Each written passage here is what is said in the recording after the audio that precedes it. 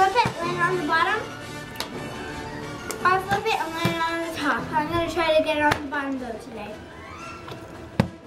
Oh, yes! I got on the first try today. So, um, thanks you guys for watching. Please subscribe or comment. Please no bad comments because no one will like that. But if there's any other challenges or things you want me to do, just it.